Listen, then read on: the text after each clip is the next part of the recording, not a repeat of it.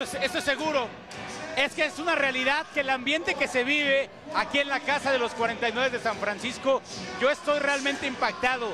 Hace dos meses hicimos aquí una conferencia con Zapolu, la leyenda de los Niners, entre otros, y la gente llegó y quedé, ah, ok, sí hay gente que le va a los 49. No, este fin de semana ha sido desde el viernes actividades, el jueves estuvimos en una clínica donde las leyendas de los 49, tanto Zapolo como Wallace, le, enseñaron a los niños a lanzar, a bloquear, eh, cosas que realmente habla del trabajo social que también hacen los 49 de San Francisco mediante su fundación.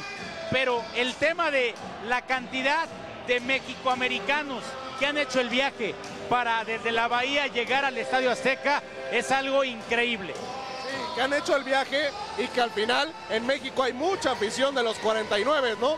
O sea, podemos decir que en los últimos años Patriotas ha tenido mucha gente acá en México, siempre los Vaqueros de Dallas y los 49 de San Francisco. Lo veremos mañana en la cancha del Estadio Azteca, que por cierto es una alfombra. Es espectacular, han dejado espectacular la cancha y seguramente se va a llenar con aficionados de los 49.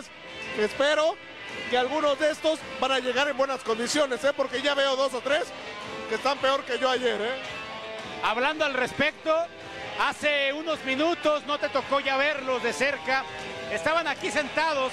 Del otro lado se encuentra Aldo Reyes en la cámara, el señor Luis Fernando Ramos, mis maestros de equitación a partir de este momento. Pero hace, hace cosa de hora y media estaban sentados aquí, siete Super Bowls, Steve Wallace, Jesse Zapolu y mis dos maestros de equitación, el señor Luis Fernando Ramos y el señor Aldo Reyes. O sea, llegó un momento en que estaba entre tanta personalidad, obviamente el tema de la equitación, son, son jinetes, son pequeños, el tema de los, de los supertazones, entendemos que Wallace y Zapolu son cosa aparte, ¿no? Sí, pues básicamente yo, yo, yo no sé si los confundieron con, balones y los aventaron para allá, porque sí son muy pequeños a comparación de tanto Super Bowl y, tipos enormes. Sí, seguramente, y los han de haber aventado, o por lo menos los hubieran mandado por unas alitas, porque tú me las prometiste y yo no las veo por aquí. Mira, hay, hay de todo un poco para comer como gringo auténticamente.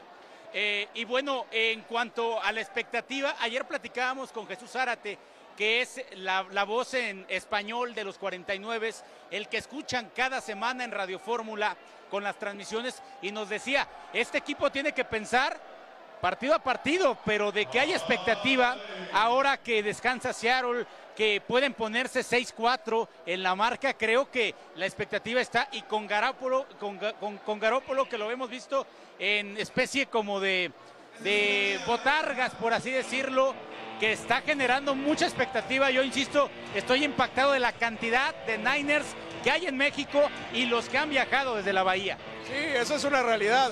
Es el líder de este, de este equipo. Y, la realidad es que, por ejemplo, los Cardenales tienen algo en contra. No va a estar Murray, que está en duda.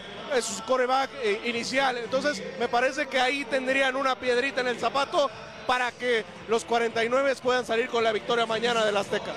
Sí, que justamente hablando de la cobertura que tendremos en Grupo Fórmula al respecto, eh, aquí en la Casa de los 49 de San Francisco estará viviendo el partido Alfredo González, desde luego con enlaces totalmente en vivo en los diferentes espacios de Grupo Fórmula, un servidor desde el Estadio Azteca, desde las afueras y ya metidos al juego desde la cancha del Estadio Azteca para tener enlaces totalmente en vivo de lo que va a ser este partido entre los 49 de San Francisco y los Cardenales de Arizona. Recordar que Radio Fórmula es la casa de los 49. Hacemos una pausa, regresamos.